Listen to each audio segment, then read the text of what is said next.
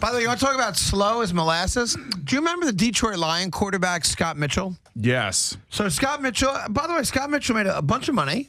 Uh, I'm not saying uh, more money than you. Um, not the greatest quarterback, but he had, was an NFL quarterback. Right, he was. Well, you know, a lot of athletes talk about that when they're finally done playing sports. Michael Jordan references this all the time. That he can't wait to become, you know, an old man with a belly. You know, because you spend all that time working out in the gym. You know, The hell said that? Nobody ever said Michael that. Jordan said. He goes, Why I can't Michael wait to be an old that? guy with a belly.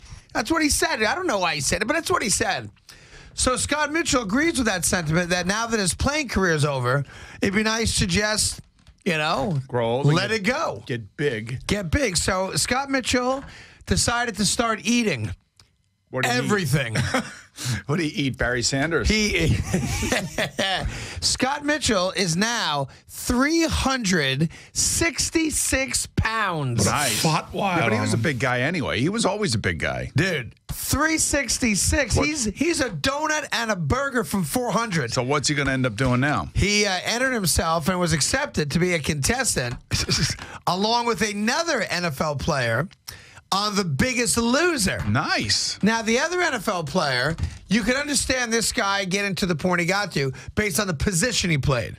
You remember Damien Woody? Of course, the Jet and the Patriot. Of course, he also does the NFL Network, I believe, or maybe ESPN, one of those. Oh, is that right? Yeah, I don't sure. know. Well, so Damien Woody is now pushing uh, near 400 pounds. He's 388.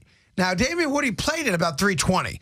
So he's put on 60 pounds since he retired. He's now the biggest loser. Here's the problem with I have a problem with it. Well, here's the problem with a couple of these guys. Like, you ever see guys that, you know, became really big and then all of a sudden they get really small? Uh, I mean, the aggressive like weight Al loss. Roker. Al Roker. Yes. I think Al Sharpton's Yeah, one of those guys. they don't look good. The head looks like it doesn't belong on Yeah, the body anymore. like a pygmy.